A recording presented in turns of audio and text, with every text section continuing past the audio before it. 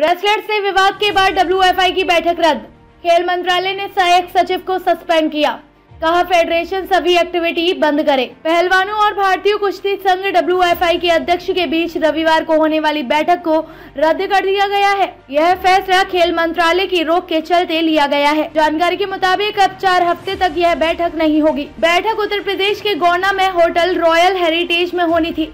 उधर शनिवार शाम को खेल मंत्रालय ने WFI की सभी एक्टिविटीज़ को स्थगित कर दिया। मंत्रालय ने कहा कि WFI को गोंडा यूपी में चल रहे रैकिंग टूर्नामेंट को भी रद्द करना होगा। फेडरेशन में सहायक सचिव विनोद तोमर को अनुशासनहीनता के आरोप में सस्पेंड किया है। विनोद पर खिलाड़ियों से रिश्वत लेकर करोड़ों की संपत्ति बनाने का आरोप है। खेल मंत्री अनुराग ठाकुर ने ब्रजभूषण शरण पर लगे आरोपों की जाँच के लिए कमेटी बनाई है और जाँच पूरी होने तक उनसे फेडरेशन की एक्टिविटीज़ में शामिल न होने को कहा गया है। माना जा रहा है कि काउंसलिंग की बैठक के बाद ब्रजभूषण शरण सिंह मीडिया के सामने आकर अपनी बात रखेंगे। शुक्रवार को उनकी प्रेस कॉन्फ्रेंस कैंसिल होने के बाद बेटी प्रतीक भूषण ने कहा था कि 22 जनवरी यानी रविवार को फेडरेशन की बैठक के बाद वह अपना जवाब देंगे। ताज़ा अपडेट्स व बड़ी खबरों के लिए सब्सक्राइब करें आज प्रकाश टीवी और बेल आइकन दबाना न भूलें।